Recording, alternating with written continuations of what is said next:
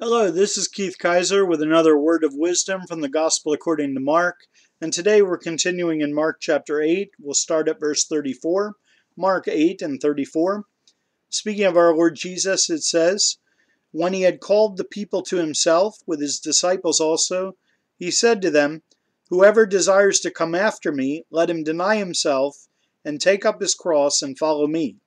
For whoever desires to save his life will lose it but whoever loses his life for my sake and the gospel's will save it. For what will it profit a man if he gains the whole world and loses his own soul? Or what will a man give in exchange for his soul? For whoever is ashamed of me and of my words in this adulterous and sinful generation, of him the Son of Man also will be ashamed when he comes in the glory of his Father with the holy angels. And he said to them, Assuredly I say to you, that there are some standing here who will not taste death till they see the kingdom of God present with power. Now, our Lord, in the vicinity of Caesarea Philippi, as Matthew 16 in the parallel account gives us, is just been has just been speaking to the disciples about what's going to come to pass and about how they're going up to Jerusalem. He's going to be rejected by men, uh, the leaders of his nation, specifically delivered to the Gentiles and be killed.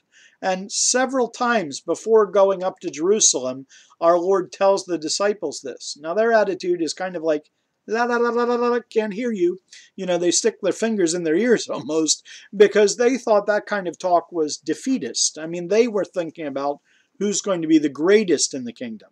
And they were arguing among themselves about what plum jobs they would have when the Lord Jesus went up to Jerusalem and toppled the Romans and toppled all the people that were against him and set up his kingdom right then and there, which we know the Lord didn't do. He came at his first coming not to condemn the world, but that the world through him might be saved. So says John 3.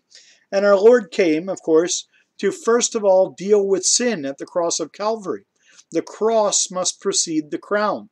The Lord will reign in glory, but as he said in Luke 24, ought not the Christ to have suffered these things and to have entered into his glory? That's certainly the pattern of Old Testament prophecy, and it's the recurring theme in the Gospels and later in the epistles as well. Now, the apostles uh, themselves struggled to get that at first. And Peter, uh, being the most vocal of them, took the Lord aside and rebuked him. And the Lord had to tell him that he wasn't speaking with the right perspective. It wasn't the heavenly way of viewing things, but Peter was actually giving voice to something that was satanic.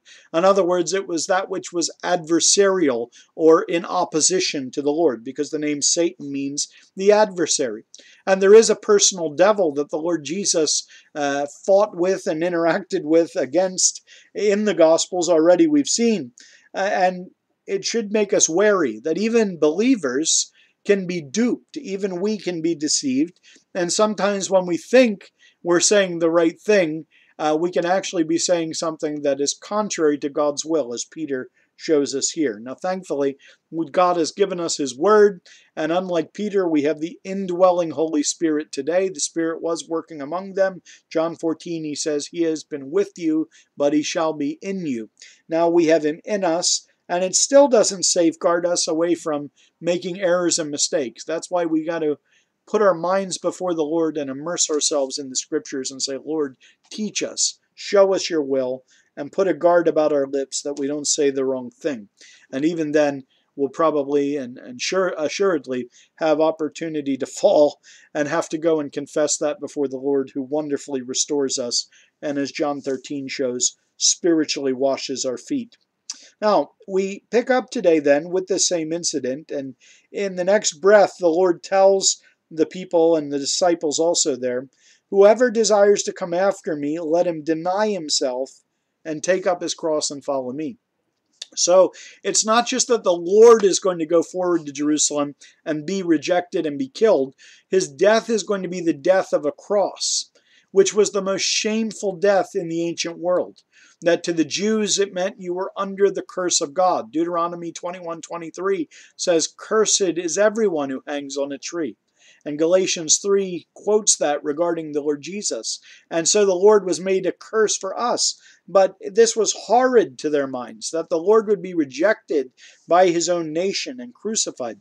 And to the Romans, uh, as their ancient orator Cicero once said, we don't even speak about crucifixion in polite company. So it was something that to them, again, was abominable.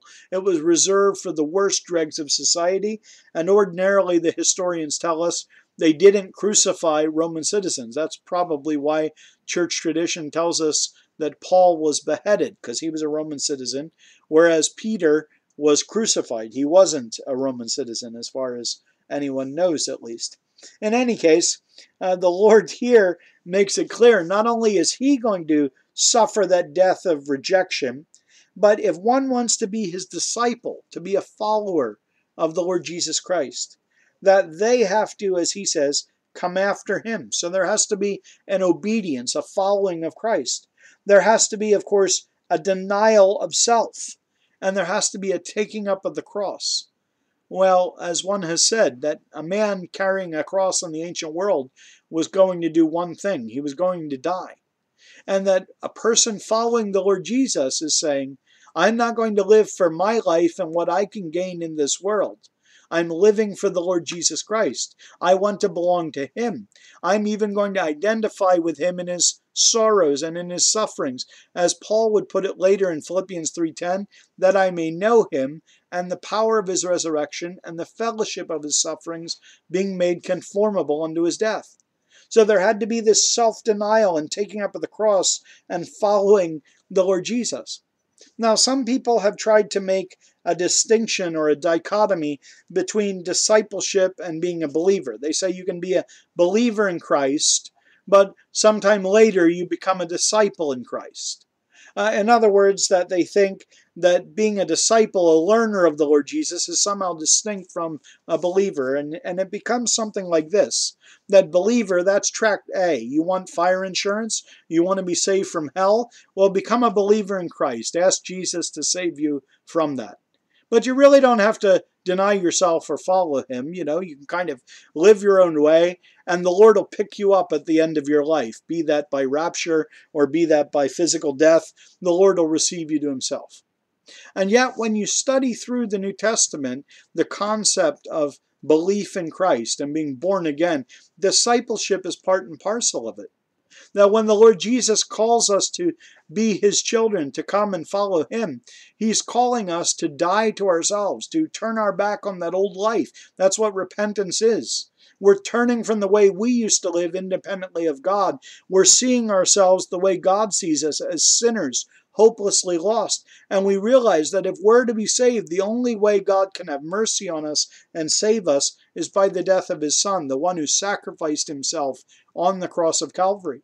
And just as he was rejected in this world, and we are not to be conformed to this world, as Romans 12 2 says, we are to live a life that is transformed by the renewing of our minds, that we might approve the will of God and so forth. That this new life we live is a life that is obedience to Christ. There's no such thing as a believer who's not a disciple, or for that matter, of a disciple that's not a believer. There are disciples spoken of in the New Testament, in, in the Gospels, people who followed Jesus physically, but it came to be found out that they weren't really genuine. Just as sometimes in the Bible, the word believer is used of someone, and later you find out they didn't really believe. They said they believed, and the Word of God kind of treats them on their profession, but when it comes down to it, they didn't have true faith in Christ. And Judas Iscariot was one such example.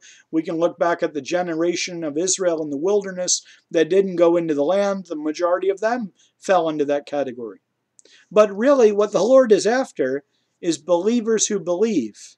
And believers who believe are also disciples. They're followers of the Lord. And they imitate Christ in that they don't want this world. They say, Take the world, but give me Jesus. They want to live for the Lord. They want to live for the next world. And they're willing to deny themselves and take up the cross, not to take the easy road for themselves and to live for what they can get out of this world and live for the here and now. The world tells us all the time you only go around once, so get the best of this world. Now he says, whoever desires to save his life will lose it. So you try to aim for the best in this world and living your best life now, guess what? You're going to lose it in the world to come. Now, of course, that's a principle with believers that you can be a believer in Christ and you can fritter away opportunities and time for the Lord, and there will be rewards that you lose through that. You'll be one of those described by 1 Corinthians 3 as saved so as by fire. You don't want to be that. Um, but at a deeper level, the unbeliever sees their very reason for living, their, their whole life, basically burning up before their eyes, not really being able to enjoy the next life at all because they'll be cast out of the Lord's presence into outer darkness, as Mark is going to tell us in the next chapter. But in any case, he says the person who loses his life for my sake and the Gospel's will save it. You turn from this world and say, I want to follow you, Lord Jesus. Guess what? The Lord is going to give you in the world, uh, in the world to come, rather, in heaven, so much more than what you've given up here. You've given up momentary pleasures for eternal joys in the presence of God. You've given up maybe a fame in this world for being associated in glory with the Creator, the Son of God Himself, and with God the Father and the Spirit. He says, What will it profit a man if he gains the whole world and loses his own soul?